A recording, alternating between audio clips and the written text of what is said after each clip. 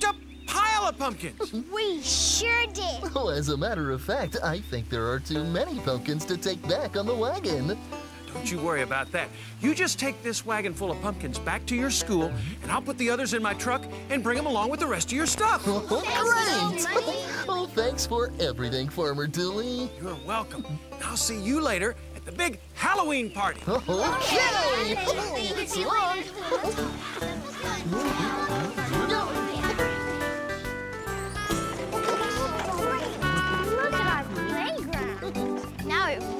Looks like Halloween. It sure does. But who put up all of these decorations? Ahoy, me hearties! Oh, well, I think it was that pirate over there. Pirate? Oh, Mr. Boyd! Mr. Boyd! At your service.